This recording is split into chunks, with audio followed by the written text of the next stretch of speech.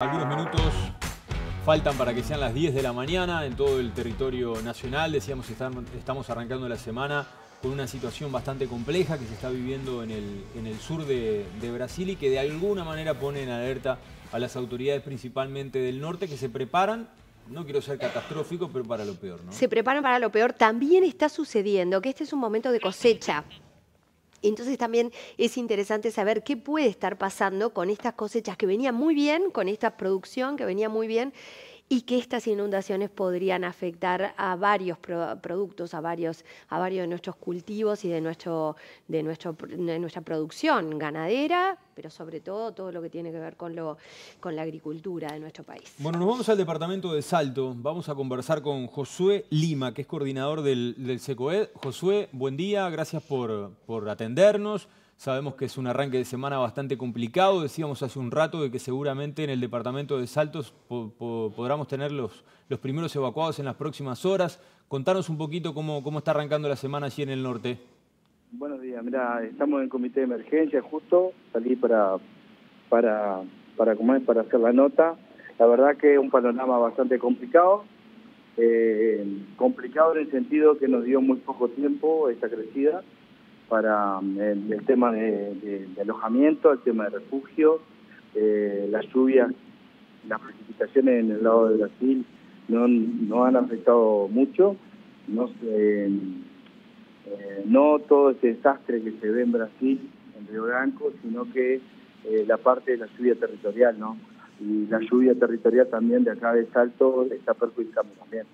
Hoy tendríamos los primeros 15 familias evacuadas, porque mm, eh, llegaríamos una cota, pasaríamos la cota de seguridad, que la cota de seguridad es 12 metros y estaríamos llegando a 12.30.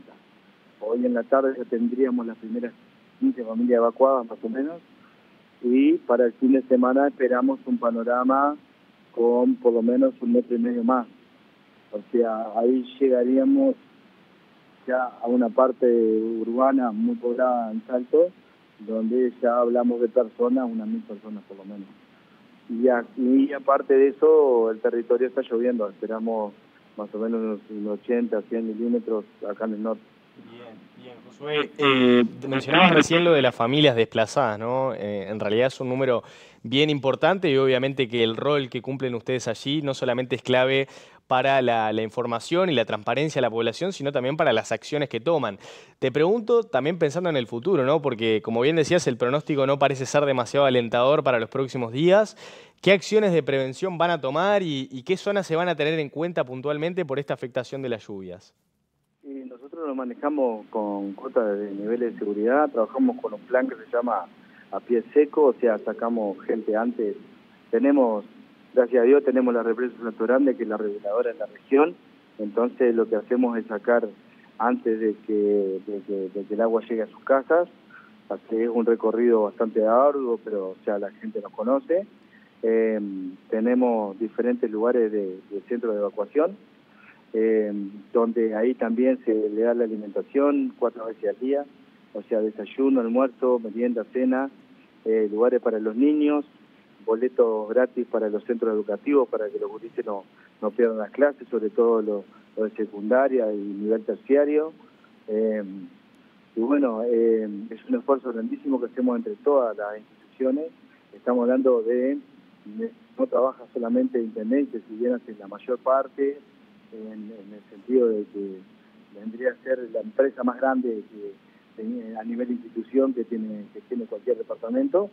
Eh, eh, también tenemos el apoyo de, salud del niño de de, de ANEP, de, secundaria, de, no sé, del Ministerio de Salud Pública, no me quiero olvidar de nadie, pero MIDES, de UTE, o sea, sabemos que toda esta parte climática trae muchas dificultades, trae vientos fuertes, trae humedad, eh, ahí trae chorradas, como le decimos nosotros, que cuando sube mucho el nivel del agua que puede pasar en cualquier punto de la ciudad.